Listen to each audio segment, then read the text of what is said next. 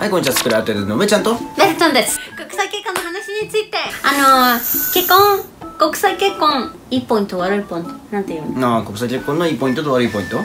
はい。私はいいポイントを言います。はい。いいポイントは別の国に行けること。普通は行かないでしょ？でもなんか両親とか家族会いに行くためにあのよく行ける？っていうこと。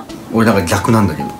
えどういう意味？国際結婚の悪いとこであまり他の国に行けなくなる。だって国際結婚してるからいっぱいいろんなとこに行けるんだって思うけどいや案外難しいよ、まず日本人のパスポートとメキシコ人のパスポートの行ける国とかが違うからうん。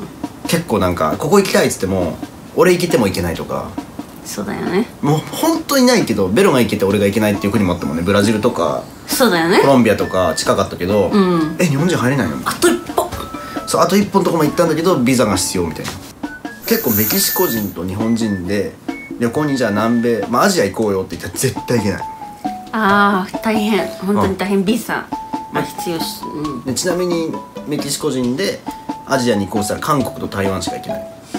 うん。ビザなしで。うんうんうん。超大変。え台湾？あ行けない？